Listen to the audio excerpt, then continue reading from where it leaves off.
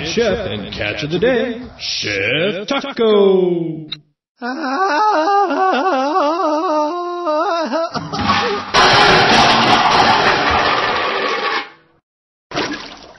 Hello, I'm Tako the Octopus, and tonight I'll be cooking your dinner. On the menu this evening is a lovely, um, well, it's meatloaf. I know, I know, I was resistant too, but after a little tinkering in the lab, you'd be surprised by how good it can be. Trust me, you're gonna want to eat this. But before we get started, I'd like to take a moment to answer the many, many, many, many, um, okay, three fan emails that I received. Dear Tako, I really, really, really love the show. You're lots better than that silly Bam fellow. I was hoping you could explain the difference between a pinch and a dash. And if it's not too much trouble, an autographed picture would be lovely. Yours truly, Barbara Lolly. Can do, Babs. In cooking parlance, a pinch refers to dry ingredients, while a dash refers to liquids. In terms of measure, a pinch is less than one eighth of a teaspoon, a dash anywhere from three drops to a quarter teaspoon. As for the photo, check your inbox.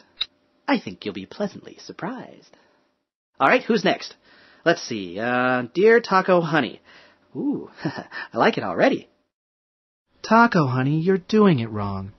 On your show last week, you spilled beer in your risotto. I know you're clumsy, but try to be more careful, dear. I'm sure you'll get better. Love, your mother. P.S. Thank you for not calling me on my birthday. I'm sure I would have been too busy to come to the phone. Look, Mom, I told you, the alcohol will burn off, leaving you with a nice hoppy risotto. Never should have shown her how to use email. Uh, let's try one more. Dear Mr. the Octopus. As a renowned scientist and noted octopus expert, I have a few questions regarding your claim of cephalopod heritage. Number one, where is your beak? Number two, most octopi are nocturnal, why aren't you? Number three, when in danger, why do you not simply change color and blend in with your surroundings? Number four, how about a recipe for chocolate chip pancakes? Respectfully, Dr. Otto Octavius II, Rikers Island, New York. well, Doc, as an octopus expert, I'm surprised you don't know the answers already. But I'm always happy to help out the scientific community, so here's that recipe for chocolate chip pancakes. Be sure to use the extra small chips as they tend to melt a little bit better.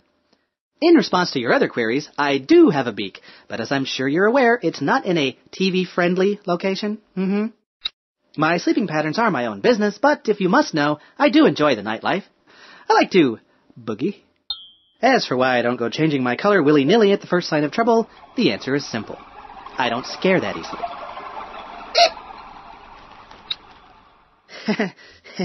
Spiders. oh, all those legs give me the willies. so, I think that's enough email for one show. Let's make some meatloaf. The first thing you need to know about meatloaf is that the meat matters. I like to use a blend of beef, veal, and pork to get the best possible flavor, texture, and firmness. Many meat markets sell a similar meatloaf mix, but if you make your own, you can tinker with the percentages or make substitutions. When I'm in the mood for something a little spicy, I use andouille sausage instead of veal. Uh, excuse me, Chef Tako? What? Is the spider back? No, but you're still, well, not all there. What? Oh. Hmm. It might take some time for my skin to change back to its normal color. How about if I wear a hat? Better? Back to the meatloaf then. Once you've got the meat figured out, there are a few basic building blocks to consider, specifically filler and moisture. For the filler, I prefer a toasted breadcrumb mix, although saltine crackers work pretty well too. Both help bind the meat, but don't add a lot in the flavor department. They will, however, suck the moisture right out of the meat if they're not given a little liquid beforehand. I prefer half and half, but whole milk works just as well. My mother puts ketchup in hers, which makes it taste like a meatball. This would be fine, except my mother's meatballs suck. Well, they do. Excuse me, Chef Tako. It's your mother. Ah, tell her I'm not here. Get it? I'm not here. I'm not. Uh, right. Okay, where was I? The pan! This would be your basic 9 by 5 by 3 inch loaf pan, perfect for raisin cinnamon, whole wheat nut, Russian rye, and many other wonderful loaves of bread. But not meatloaf. If you want a crispy crust with a delicious glazed top, a loaf pan is going to work against you. Hey, I'm back!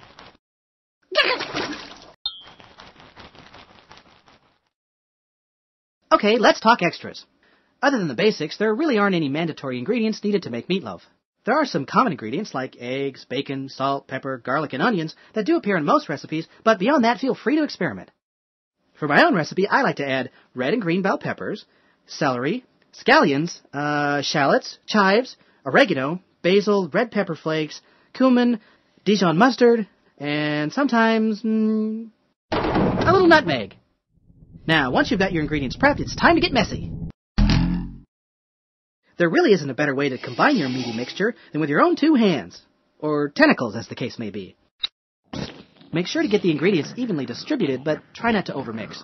If the meat seems overly sticky, add a little more liquid. Once the mixture is ready, remove it from the bowl and work it into a long oval shape. My recipe calls for a loaf about 16 inches long, 1.5 inches high, and 5 inches wide. If you want to make yours shorter and taller, that's fine, but it'll take a little longer to cook. The final step before baking is adding a topping. I like to use a ketchup glaze made with brown sugar and vinegar. A few strips of bacon are also lovely, but if you're into counting calories, skip them. When everything is ready, get it into an oven preheated to 375 degrees and bake until the internal temperature reads 160 degrees, about 40 minutes. When it's done, let it rest 10 minutes before serving. I like to serve meatloaf with my famous garlic smashed potatoes and maybe a little sauteed green beans but any traditional comfort foods will do nicely. And be sure to save the leftovers for meatloaf sandwiches. White bread, ketchup, and a little cheese. Mmm, smells like growing up. Of course, no amount of cheese and condiments could save my mother's meatloaf, but Bobby Bottlenose mom made a wonderful Havarti and pickles combo. Mmm, yummy. Chef Tako, it's your mother. Uh, yeah. Uh, tell her I can't come to the phone because I'm not here. oh, wait, I already said that. Uh, tell her, wait a minute, no, try this. Tell her I'm, Tako the Octopus, show yourself this instant. Now listen up, mister. I could cook circles around that Barbie bottlenose and her big blouse any day of the week. My meatloaf is just fine. If your father were alive to hear you say such things. Dad's not dead, Mom. He lives in Santa Cruz with Aunt Dee. Tako, honey, I know you don't have one, but try to show a little backbone. It's just a spider. Thanks for stopping by, Mom. Bye. uh, right, um, well, for a few more meaty bits, check out the special tips and tricks sprinkled throughout the show. And be sure to visit the Food Science Lab at 8legged.com for a look at what happens to meat when it cooks. Yeah!